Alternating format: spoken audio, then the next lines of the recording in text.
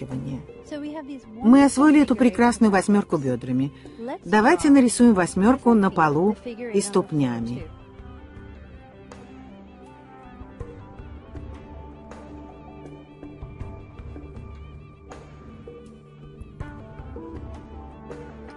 Мы выполняли восьмерку в горизонтальной плоскости.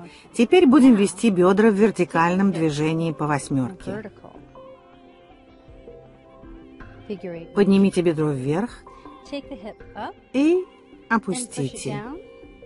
Поднимите бедро вверх и опустите.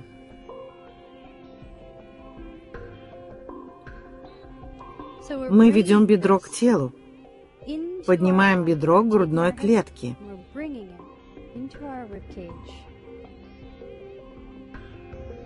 Мы можем это делать и в другом направлении. Вверх и вниз. Вверх и вниз. Обычно это называется майя.